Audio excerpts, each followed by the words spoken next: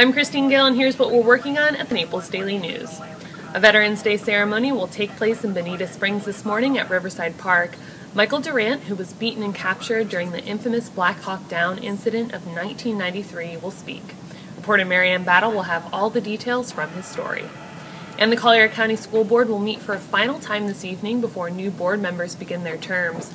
Parents of Barron Collier Choir students are expected to protest the latest issue over a concert venue for their series.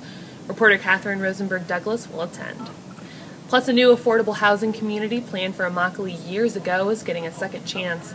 A nonprofit called Rural Neighborhoods is planning to build 18 homes for low income families. Reporter Maria Perez will have more. That's all for today. Check naplesnews.com for these stories and more.